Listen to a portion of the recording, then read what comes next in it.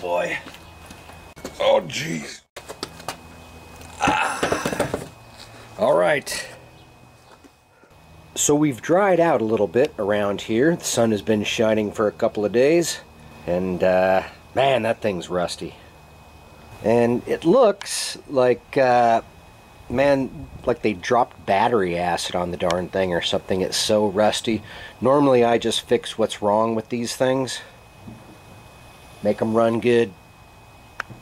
But uh, on this one I think I'm going to go ahead and uh, clean up that engine cover a little bit. I think our first step in getting this thing running again is uh, just start taking some of this stuff apart. So I'm going to want to take off this oil spout. So I think it would be a good idea to uh, drain out any oil that's in here. Looks like we have a little bit. All right, so this is how I'm going to do this.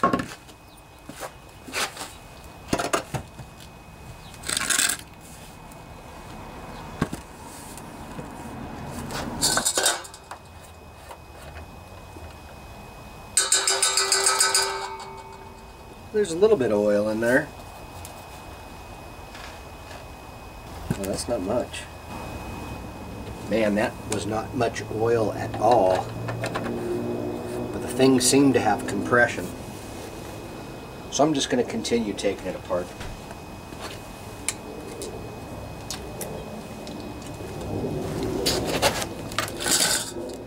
See how rusty it is on top here. So what do I need? My 7 16 Good. They didn't break. I feel lucky.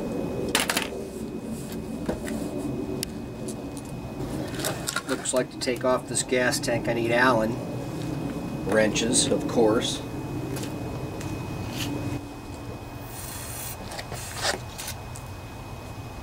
Just going to spray a little bit of lubricant on these bolts here so hopefully the tank won't be that hard to get off here. Looks like I'm going to have to get a wrench and hold the backside.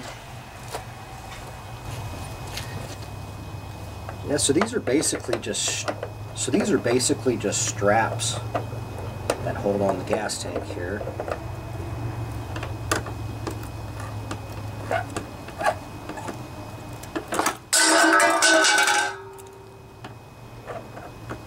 Oh, that was something.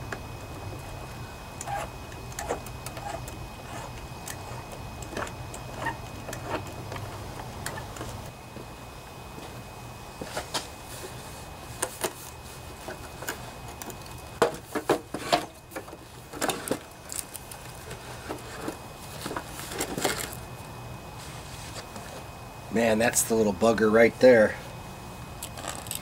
my tool, it's so rusted, my tool doesn't want to seem to go in.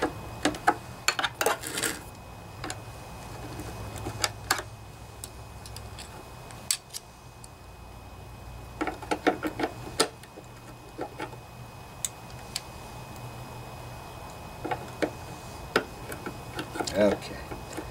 Try to get a grip on this sucker.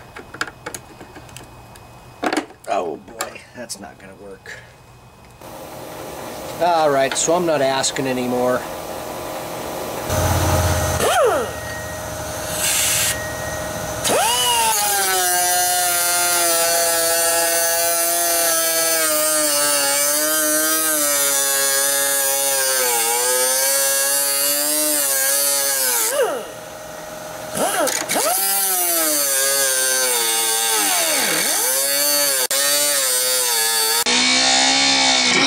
That's how it's done, son.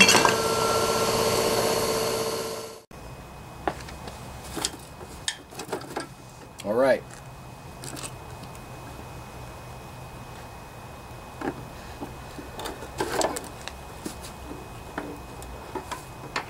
Coax the fuel line off of here and we'll get this tank out of the way.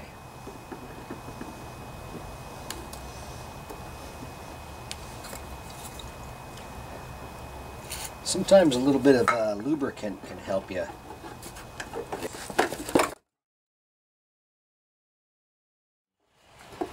Here we go.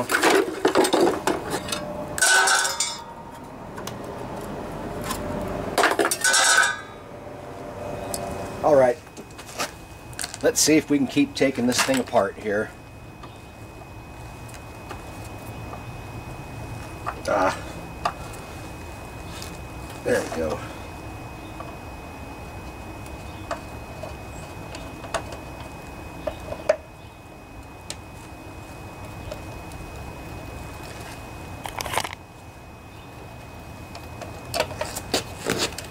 This air filter out of the way here.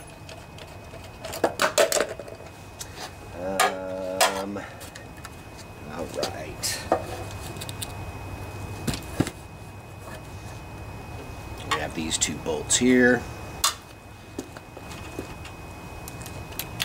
7 16 socket.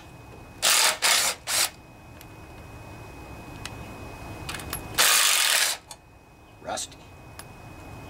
And that's a 5 16 socket. To take off the oil dipstick. Okay.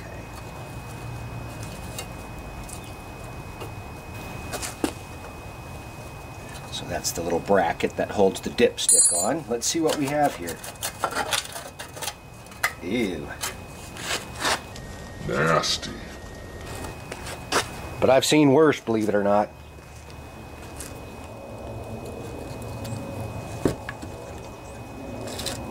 So you can see how rusted that front got. I don't know if someone spilled battery acid on that or what, but I think I'm going to take off these brackets just so I can paint them up, make them look pretty. That's something you don't hear me say often. Oh dang, those are uh, head bolts as well. At least these three are. Maybe I'll take the head off just to see what the piston looks like. That might be a good idea anyways.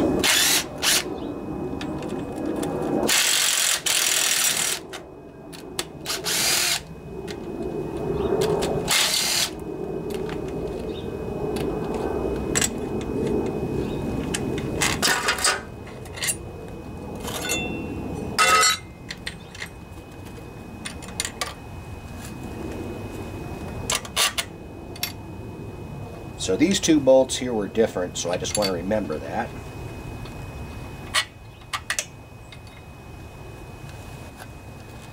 Have to get that wire out of the way.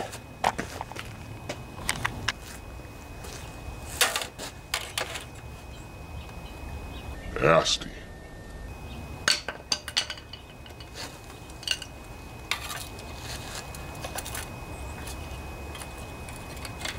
It's the fuel line. It's actually the fuel line. I'll be replacing that anyways.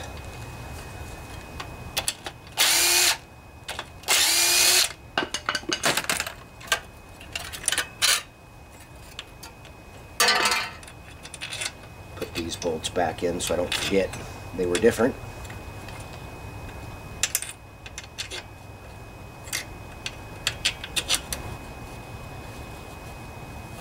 Look at that chunk of dirt.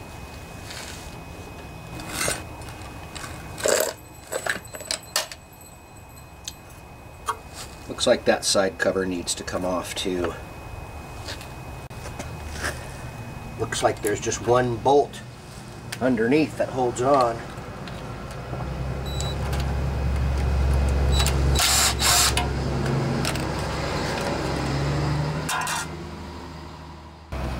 Yeah, I want to clean up all these uh, fins and uh, repaint this cylinder probably as well. Make this thing look nice. You don't hear me say that very often. What do you say we take this head off just so we can see uh, what the piston and cylinder walls look like? I don't think you have to remove anything except for the head bolts and then that, that head comes off pretty easy. Looks like we have this one that holds the muffler on.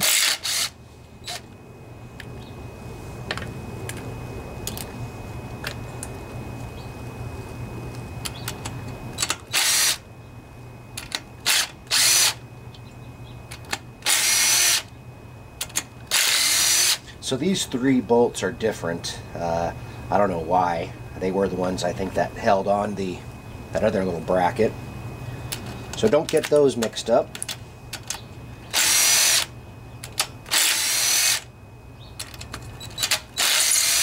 Boom! How easy is that?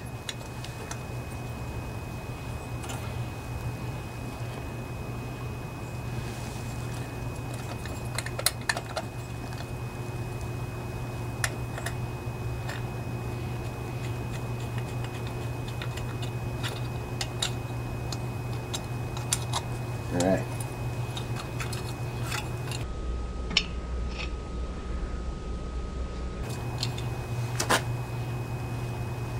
So that's what the underside looks like. A lot of carbon buildup. A lot of carbon buildup. Looks like our head gasket was good. We'll replace that, of course. You guys will see me reuse a lot of gaskets. Head gaskets you cannot reuse. Alright, so let's see what this cylinder looks like. So I'm just rotating So I'm just rotating the flywheel here and check it out.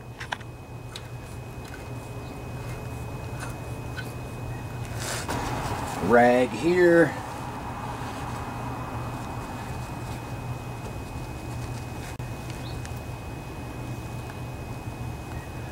And that cylinder wall feels like glass. No scratches or anything in there.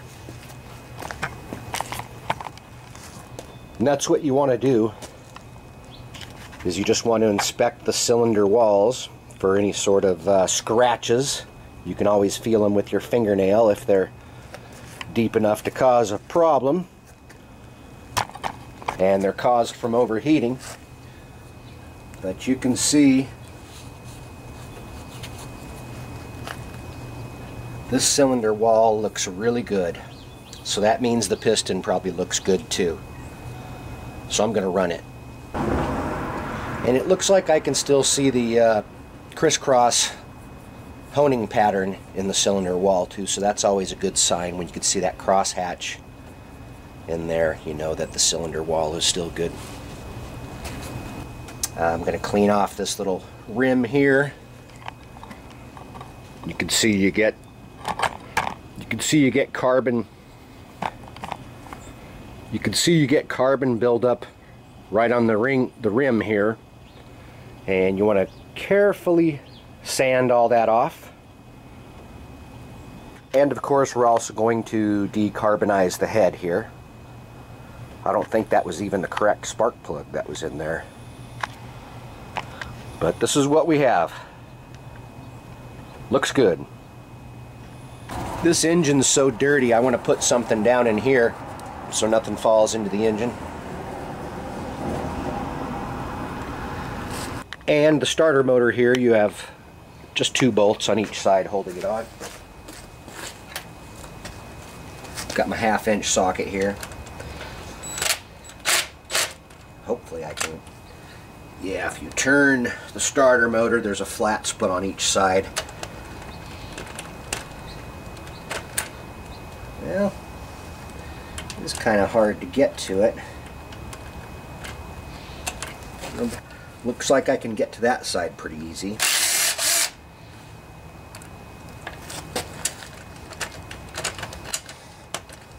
Looks like that side I'm going to, going to need to use a uh, close box end wrench.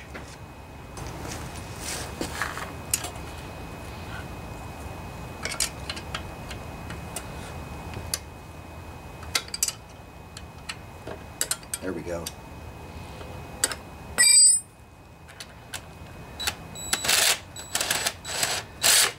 Oh, all right. Got to remember where all this stuff goes here. Okay, so not quite sure what that bracket's for. Was that holding the? Uh, is that holding that like that? It must have been. All right. And the dipstick tube just pulls out of here. There's still a little bit of oil left in there I need to drain out. And this went to the fuse. And this is a diode right here. So yeah, this goes to a fuse and that's a diode right there coming out of the alternator. So you don't ever want to cut this wire. You want to keep this part intact. That's where the diode is. And I think what that diode does is uh, decrease the voltage that comes out of the alternator under your flywheel here.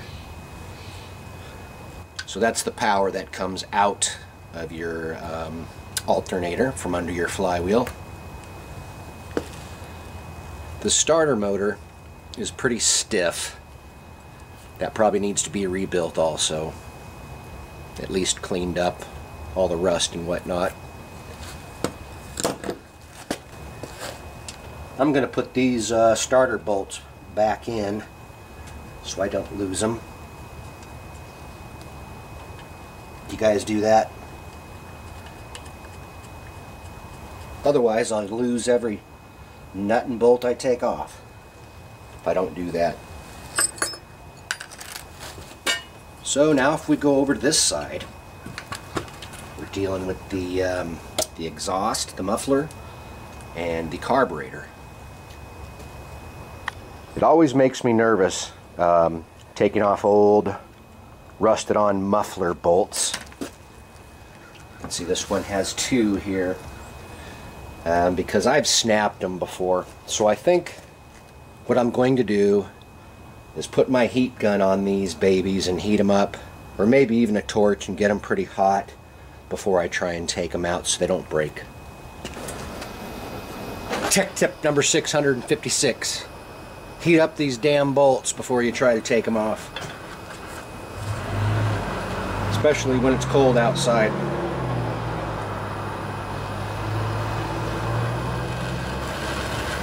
Just keep them on there for a couple minutes. That should heat it up pretty good and hopefully uh, prevent it from snapping off.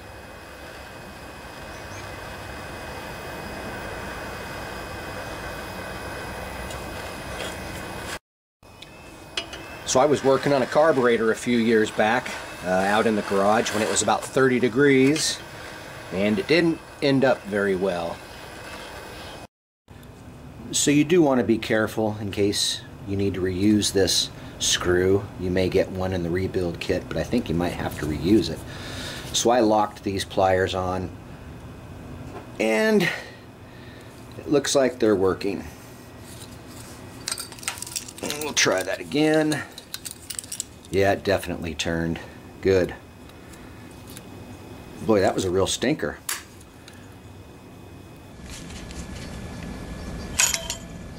Oh. This carburetor is now useless. So that's what I mean by the uh, bolts get brittle when they get cold. So warm stuff up, folks. Especially if it's rusted in place. Alright, let's get these lock tabs out of the way here.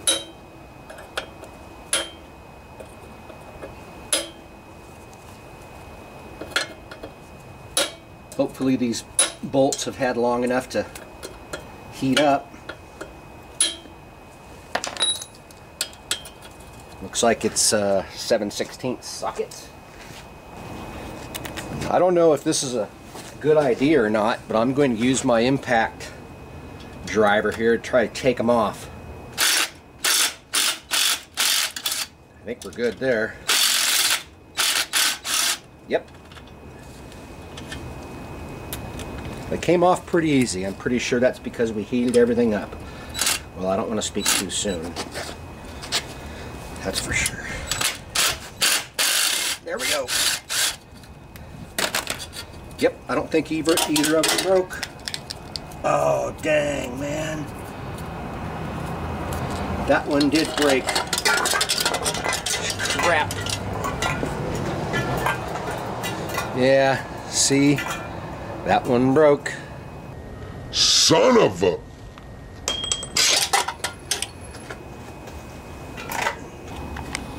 Oh man, I hate it when this happens. What a bummer. I know everyone will give you advice on how easy it is to get out of there, but they're all just talking. It's never easy to get out.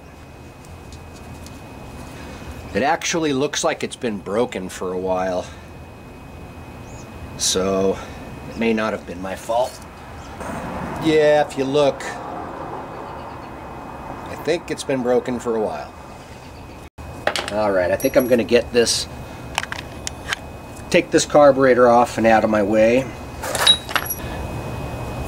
At these bolts that hold on the, uh, the carburetor intake, you can't get a socket on them. They don't give you enough room, but they slotted them so you can use a screwdriver.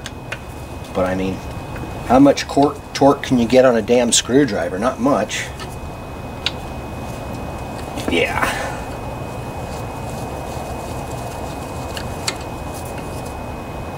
So these two bolts and uh, then we have a little support bracket down here.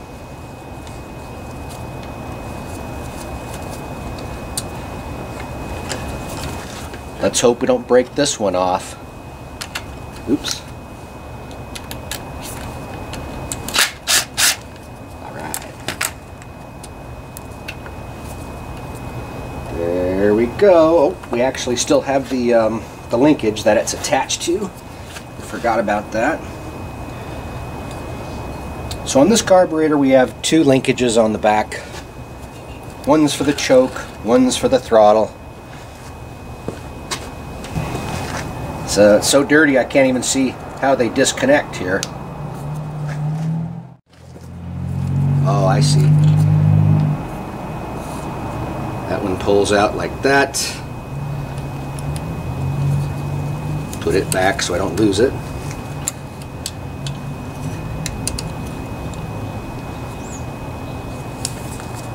And then this one, yeah, if you turn the carburetor this way, it comes right off too.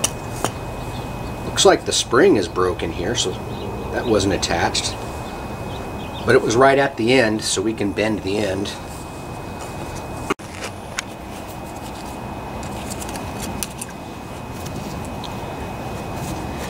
This old nasty fuel line off of there. Look at it broke. Pretty brittle. Well, there we go, folks. Good old-fashioned Briggs & Stratton carburetor. Yeah, so as you can see, this engine still has a ton of crud on there. So uh, this is about as far as I'm going to tear it down. Actually, I do need to take off the flywheel because I, I may replace the oil seal uh, underneath the flywheel there. But I think I'm just going to spend some time scraping off the big chunks here and cleaning up the outside of this engine as much as possible. Pretty dirty. With this much oil buildup everywhere, I'm probably thinking that the, uh, the oil seal that's underneath the flywheel here, when they start to leak, they basically just fling oil everywhere. So that's probably what's going on here. Scraping off the big chunks, boys and girls. I've got some uh, gals that wrench, that watch my videos, which I think is pretty cool. I think I'll spray a little bit of carburetor cleaner on some of these thicker spots here. Help loosen up some of that oil. Alright, Let's see if we can get this flywheel off of here. Oh, yeah. Knew those were going to be stuck. Oh, boy. Where's my penetrating lube, man?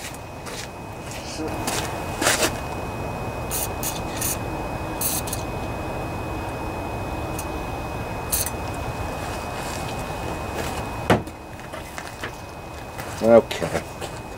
Let's see if we can get these off without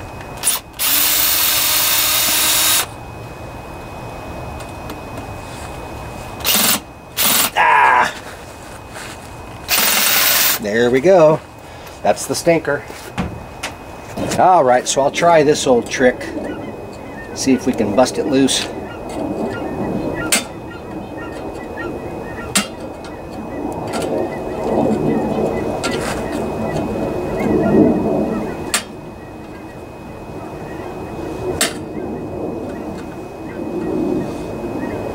Getting anywhere? Gotta do what you gotta do.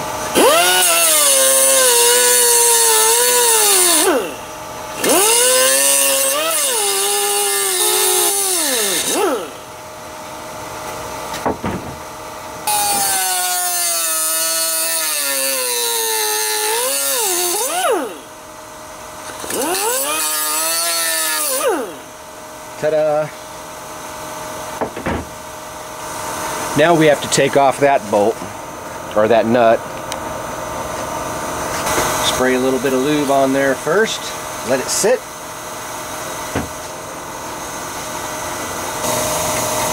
So the only socket I have that fits is the 24 millimeter.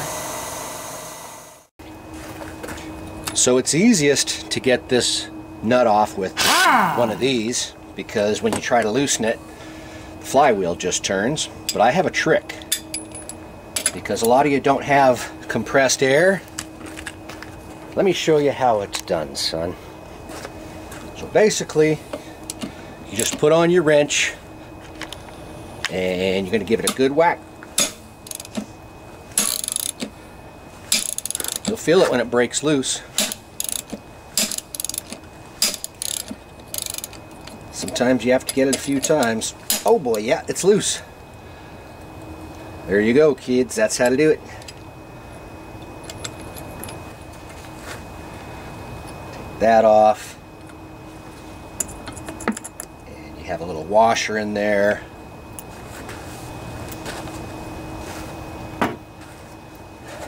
Looks like the flywheel key is intact.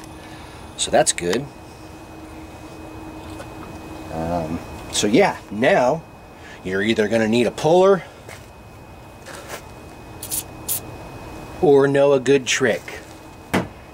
And guess what? We know a good trick. So let me show you how to get this flywheel off because it's pressed on for the most part.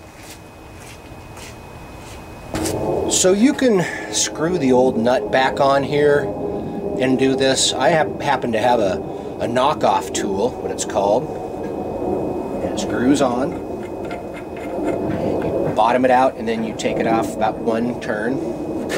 And here's what you do. You find a good spot on the engine to where you can pry up on the flywheel a little bit. But you don't want to break anything. looks like over here there's a little spot that I can uh, kind of stick this under and pry up a little bit. You don't have to pry up a lot, just a little bit. And then you give her a good whack. Look at that. One was all it took. Sometimes it takes a few. Sometimes you get lucky.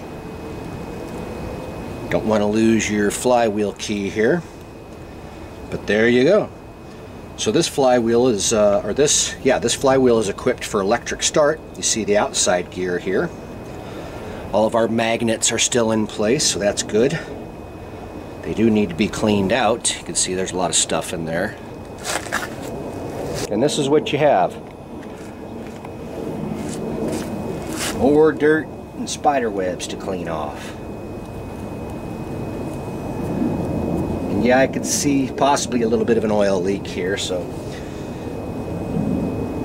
I'm sure we'll replace that oil seal.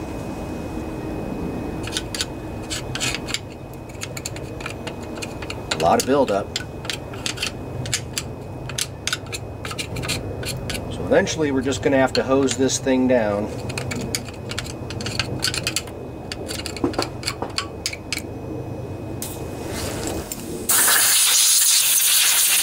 that helps.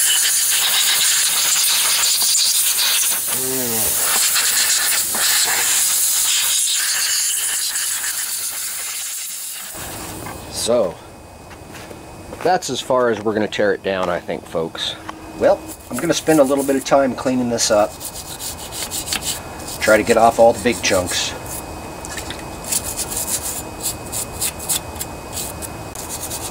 Just a little bit of gasoline here is what I'm using to try and break this stuff up.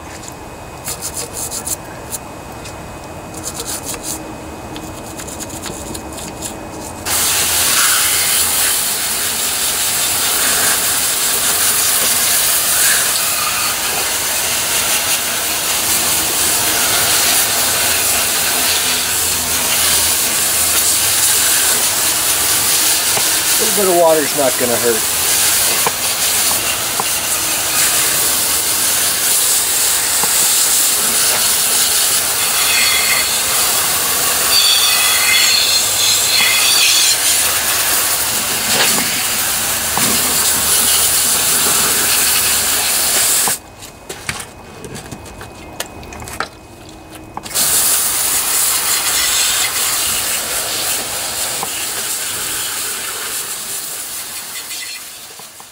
All right.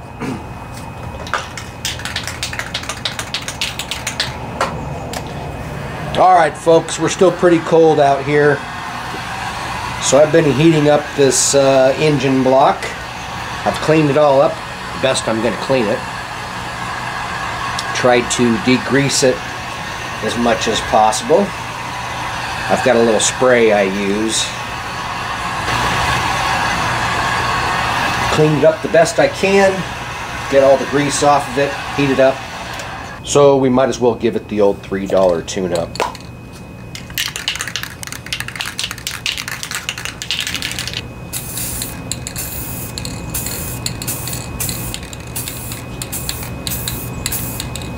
Doesn't have to be perfect.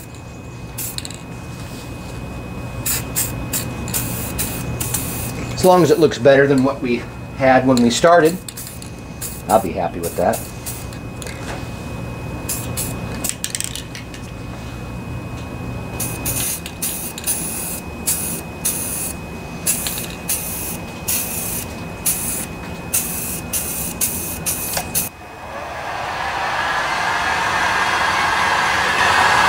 I'm just trying to get this to at least, you know, 70, 80 degrees. If I get it too hot, it'll cook the paint. But it's just so cold and wet out, I think it's important to uh, try and warm it up a bit.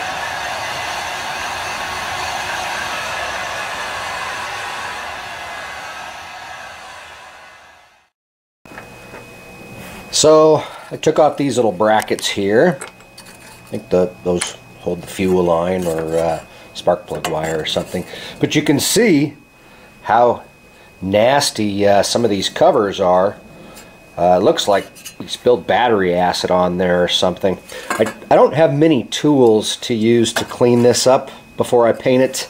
I tried wire brushing a little bit uh, and it helps a little. I do have this little cheap flapper wheel. I don't know if it'll work. I'm, gonna, I'm going to give it a shot here.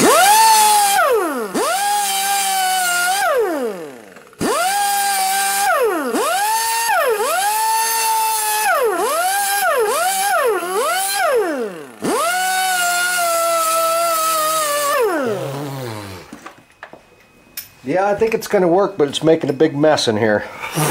To have to go outside and do this.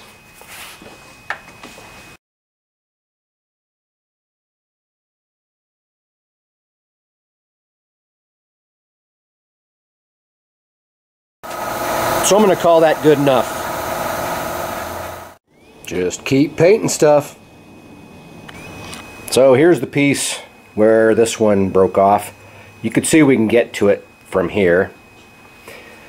But this piece is going to be pretty hard to sand uh, and it's quite rusty. So I think I'm just going to uh, soak this and this washer's quite rusty too. Think I'm just going to soak these pieces in vinegar for now. And what we use here is just plain old white vinegar. We soak it for a day or two. And I decided that I wanted to keep the fuse with the engine here. So I went out to the carcass, cut it off, put that fuse back in here and put it back together. So we have our setup here. And this just this red wire just goes straight to the battery or the battery terminal on the solenoid. So you can see this cover is really bad. So I'm going to use a coarse grit sanding sponge on this.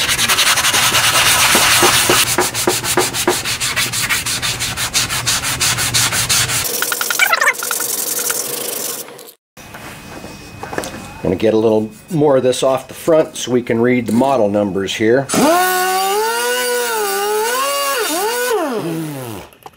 Dang it.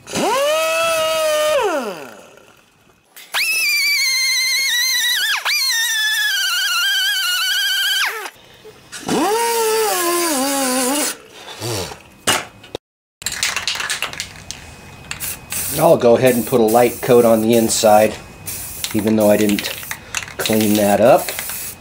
Hopefully that'll slow down some of that rust. Well, looks a little bit better. That's all we're going for. Well, here it is. You knew we were going to have to get into it sooner or later. This old school Briggs & Stratton carburetor. Let's check it out. This is a half inch wrench here. Oh boy, that's stiff. Oh yeah, okay. Wonder what the inside of this carburetor looks like. This motor's been sitting outside for several years. Well, not too bad. That is a nice surprise. All I have to do is clean out the float bowl. Probably be a good idea to replace the float valve at this time. Let's see uh, what it looks like. Looks like our O-ring is still in place here. The float bowl O-ring.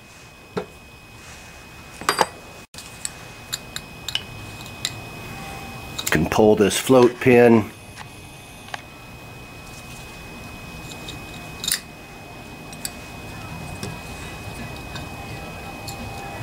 All right, so this style float uh, and float valve has a, because it's all metal, it has a rubber seat down inside there, or it should.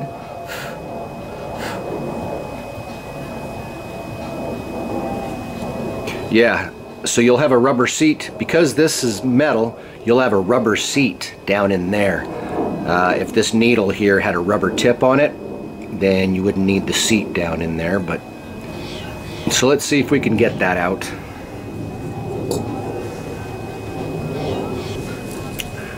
We're also going to have to uh, take off this fuel valve here or at least take it apart. Make sure everything works and it's not all rusted up in there. Seems to be working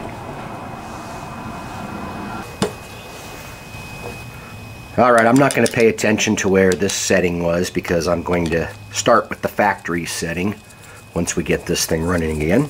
So let's take out the pilot screw adjustment. I don't think there's any O-rings or anything down in there. Nope. Just this little piece here.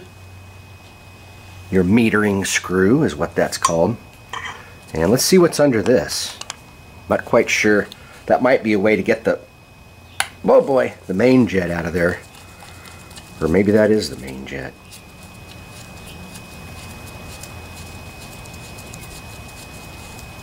Ooh, that's a lot longer than I thought it was going to be. Yeah. Alright, so this tube here, uh, you can see there's some very tiny little holes all up and down that you'll want to make sure to poke out as well as a hole up through the middle all the way up the length of it and you also have some holes up here at this part you need to make sure cleared out and let's go ahead and remove this piece too just so we can make sure to, that everything's good and clean when we go back together This is kind of a weird screw down in here. Uh, it's an odd size for a screwdriver. I can see through it, so I'm not sure if I'm going to keep trying to remove that or just leave it. It looks like this is the piece that does most of the work up in there. And with these old brass floats, what you always want to do is shake them and listen for uh, gas that's sloshing around in there because that would mean it's leaking. Whoa! Excuse me. Excuse me.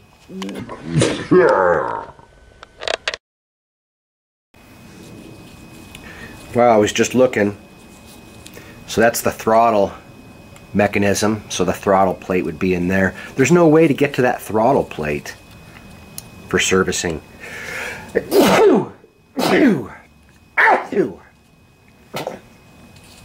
So that's kind of weird.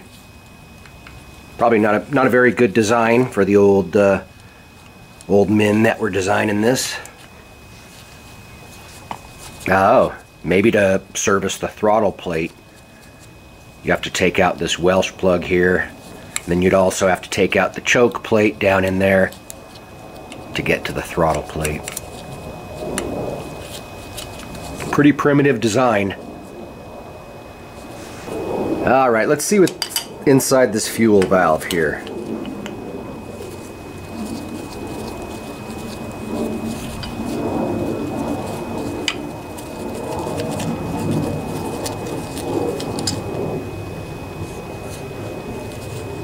Well, that looks pretty straightforward, I guess. I don't think there's anything in there that can be replaced. Hmm, okay. Put it back together. I'll clean it out and put it back together.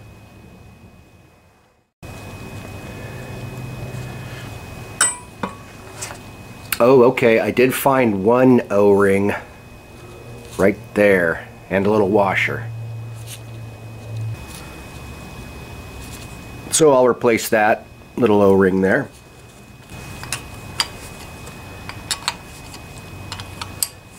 I have a universal uh, O-ring kit. Has a bunch of little O-rings in there. And that's what I used.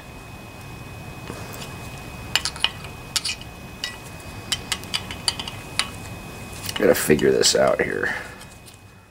So I think to put these back together, you have to turn this all the way in and then tighten this down. Not too tight. Yeah. That's how you tighten this up. Otherwise it locks up. So that's how it's done, son. I'll just leave this wide open for now. like to clean off some of that rust. So this is a little tool I have to pull out these uh, rubber seats. Boink. Oops. Easier said than done sometimes. Come on out. Sometimes they get stuck down in there. Ah, get out of there, buddy. There it is. So this is the green one. Most of them are red or white, but this is like the blue one here. So make sure you put the white right one back in. And try not to be as rough as I just was taking it out because you don't want to really scratch up that part too bad. So I'm going to save this little piece and compare it to the new one, make sure it's the same one. I'm also going to order a new um, float bowl O-ring. But overall, the inside of this carburetor looks pretty good. That's another reason why I'm confident uh, in not having to take out this little part here. Uh, I'm pretty sure it's just a passageway for fuel to get up into the, uh, I believe this is the main jet. And, and this is just the main jet metering screw that goes on the bottom of the carburetor.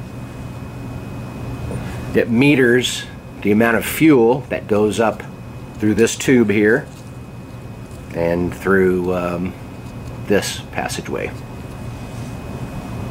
So it's very important to make sure every little passageway uh, in this piece is cleared out. There's some very tiny ones on this long part and it also has to be clear out all the way up through. Well guys, unfortunately I just got some Really bad news.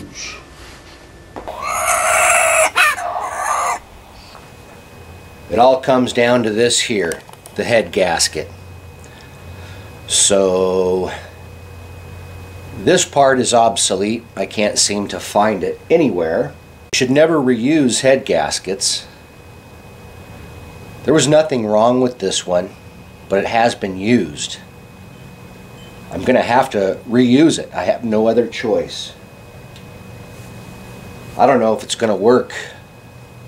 I kind of am regretting that I started uh, refurbishing this engine.